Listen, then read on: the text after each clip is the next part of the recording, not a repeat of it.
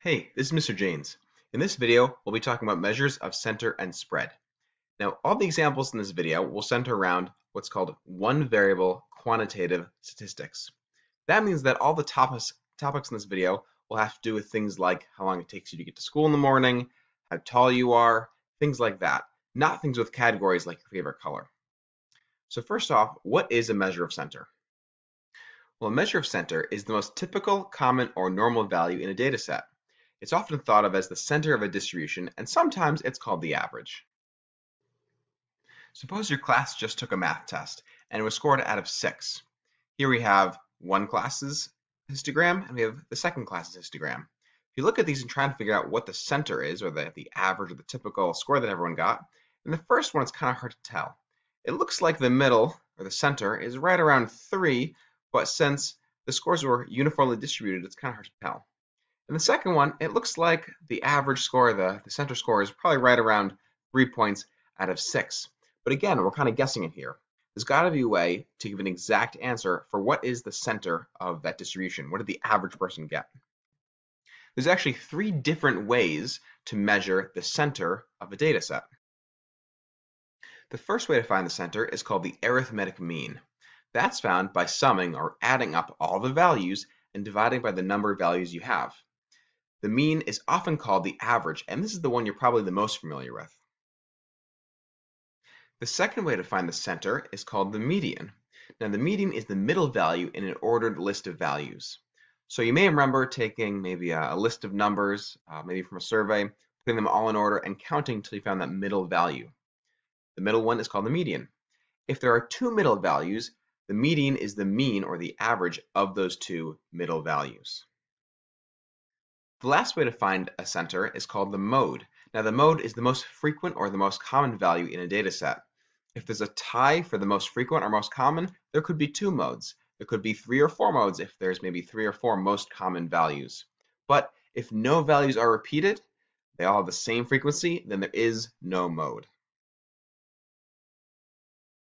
So it's hard to tell exactly where the center is, what the mean, median, mode of these three things are, without actually having the raw data, the, the values, the numbers in front of us. So let's try doing an example or two where we have the actual data. Let's try this first example problem. Find the mean, median, and mode of the following sets of numbers. 23, 29, 20, 32, 23, 21, 33, and 25. If you think you know how to do this, pause the video here and try this on your own. But if you're not sure, keep watching. Pause here if you can. The answers will be up in three, two, one. First, let's try finding the mean, or the average. Now remember, to find the mean, we've got to add up all of the values and divide by the number of values we have.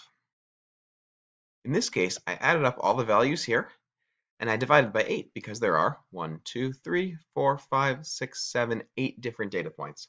Now, if you put this into the calculator all at once, that's fine. Just remember to put parentheses around the addition of all of the values. That's because order of operations tells us that division happens before addition, and if you drop the parentheses, then you'll have 25 divided by 8, and then I'll add all these numbers separately. So don't forget the parentheses. Now when I add them all together and divide by 8, I get a mean of 25.75. Now that makes sense to me because looking at the data set, it looks like the center, right, the average here looks like it's going to be about 25, right? All the numbers are kind of in the low 20s or the, the high 20s, some in the 30s, so about 25.75, about 26. That makes sense to me. Next, let's find the median. So remember, the median is the middle number uh, when all the values are in order. So the first thing we need to do is order all of these values. So I've put all the values in order, and now the median is that middle one. So if there's eight values, uh, that means that we're probably looking for the fourth one in. So that's the first one off both ends. That's the second one off both ends. That's the third one off both ends. And so it looks like since there are eight values, there are two middle numbers, 23 and 25. So neither one of them is going to be the median. Instead, when there are two middle values, I'm going to take the mean. So I would add 23 plus 25 and divide by 2 to kind of find the average. So it turns out when you add 23 and 25, you get 48. Dividing by 2, you get 24, which gives us a median of 24. Again, that makes sense to me. That's about the center of this data set.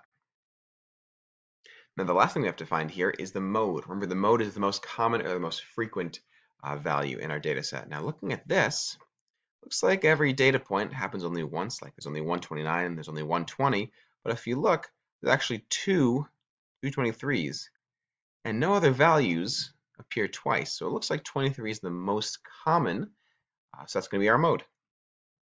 And right there you have our mode of 23. Now I've got one more example here. Find the mean, median, and mode of 7, 2, 4, 9, 6, 7, 1, 7, and 6. Now, I'm not, not going to do this one for you right now. Instead, I want you to try this one uh, on your own, and uh, we'll talk about it when we come into class next time. Give this one a try before moving on. So we've talked about measures of center, uh, what's typical or average, things like mean, median, and mode, but we have to talk about measures of spread. Now, spread is how similar or varied the set of values in a dataset are. In other words, it's a measure of consistency. How consistent are all those data points? Let's go back to the example from before to think about this. Again, you took a test in math class. It was out of six points. This is the first class that took it. This is the second class that took it. Looking at these, the first class is pretty spread out. Some people got a zero, some people got a six. There's a bunch of different scores in between. On the other hand, the second class, no one scored zero points and no one scored six points, and most people were right in the middle. Most people look at this, scored maybe two or three or four points, but it's kind of clustered more in the middle. That means that the first class was less consistent and more spread out.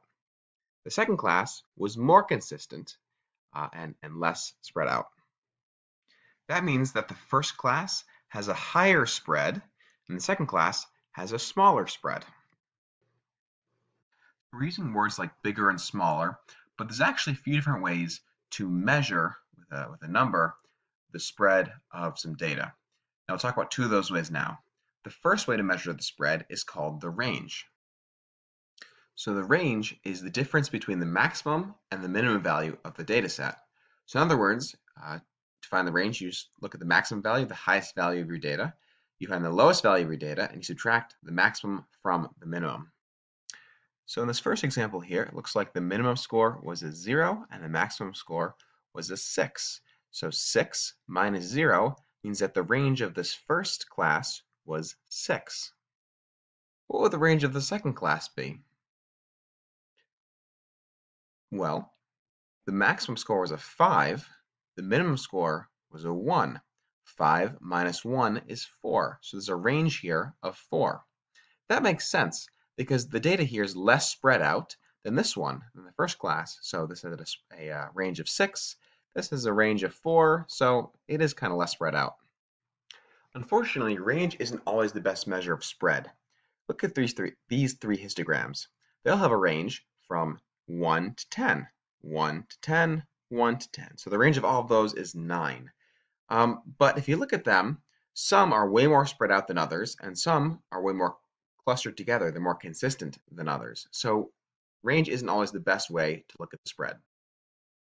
The second way we can measure the spread is called the standard deviation. The standard deviation is a statistic that measures the distance or deviation of every data point from the mean and is typically a good measure of the spread. Remember, the range only looks at the maximum and minimum values, but the standard deviation looks at every data point. Now there's a formula for standard deviation that we're not going to get into now. All you need to know for now is a larger standard deviation means that the data is more spread out, less consistent, and a smaller standard deviation means that the data is clumped together, more consistent, less spread out. Let's come back to this example.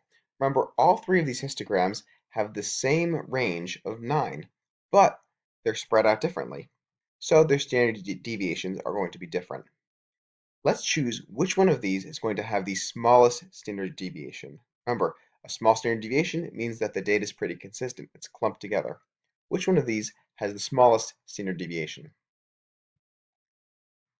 Turns out that graph C is going to have the smallest standard deviation. Think about this dotted red line here as the center. Most of the data points here are kind of clumped or pulled in towards the center. They're not very spread out, and so the standard deviation is low. Which one of these is going to have the highest standard deviation.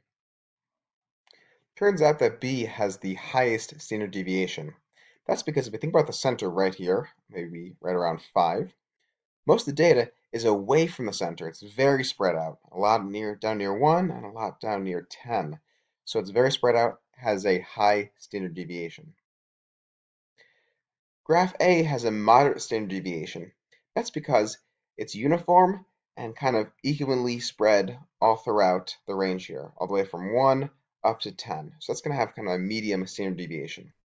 So in order, we've got C with a small standard deviation, very clustered together, A with a moderate standard deviation, and B would have a very high standard deviation because it's very spread out. So let's do one last thing before I wrap up here. This last example problem. I'd like you to draw a line between the matching ranges, standard deviations, and histograms. So each of these ranges matches one of these histograms, which in turn matches one of these standard deviations. Pause the video here and see if you can match them all together with a line. Pause now. The answers are coming up in three, two, one. So I'll start by looking at these histograms. Looks like the one in the top is pretty kind of uh, not very spread out. So that means it's going to have a pretty low standard deviation. So looking at these, we got 7.9, 31.6, and 15.8. So this first histogram, not very spread out, it's going to have a pretty low standard deviation. What about the range?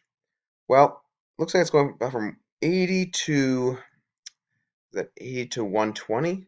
So 120 is the maximum, 80 is the minimum. 120 minus 80 is 40. So the range there is is 40. There it is. Okay. What about the next one? Well, this one is kind of moderate, has a moderate standard deviation here. It's, it's moderately spread out. It's not as, as clumped together as the first one, but not as spread out as the last one. So it's going to have kind of a medium standard deviation. So looking at these, 31's the, the highest one. I'm going to go with 15 here. Again, we don't know the exact formula to find standard deviation, um, so we can only really compare them. But for range, let's see, it's going from about, let's say 40, 80, it's probably about 60 for a minimum. And it looks like it's going to 160 for a maximum. 160 minus 60 is, is 100. So the range is about 100 there. What about the last one? Well, I guess process of elimination, we know what it goes to, but let's double check. Again, it's much more spread out than the first two, so it's going to have a high spread or a high standard deviation. 31.6 is the highest that I can do. Um, and for the range, well, it's going from Mm, I would say that's 20 for a minimum to probably 180 for a maximum. 180 minus 20 is 160. So that makes sense as having a larger range there. So before we wrap up, remember the key points. A center is kind of the typical or common value in a data set. And there are three ways to measure it. A mean, where you add everything together and divide by the number you have a median, where we find the middle number, or a mode, the most common number. A measure of spread is how similar or varied the values in a data set are. So if you've got a data set that's very spread out, you're going to have a high spread, one that's kind of clumped together, consistent, you have a low spread. There's two ways to measure it. The range, where we take the maximum value and subtract the minimum value, highest minus lowest, or the standard deviation, which is a pretty complicated formula that we're not going to learn in this video, but it tells us how spread out all the data is and takes into account all the different data points, not just the maximum or the minimum. Thanks for watching, and we'll see you next time.